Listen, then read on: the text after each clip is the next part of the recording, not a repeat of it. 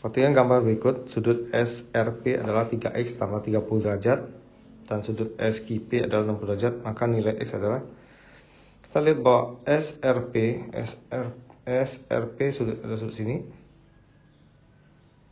Dan SQP SQP ada sudut ini. SQP 60 derajat.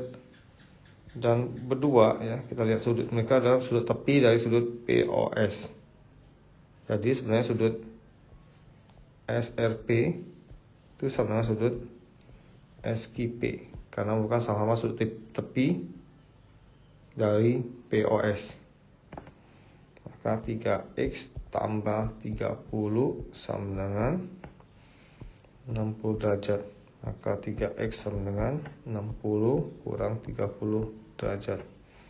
3x sama dengan 30 maka x sama dengan 10 derajat jadi nilai x adalah 10 derajat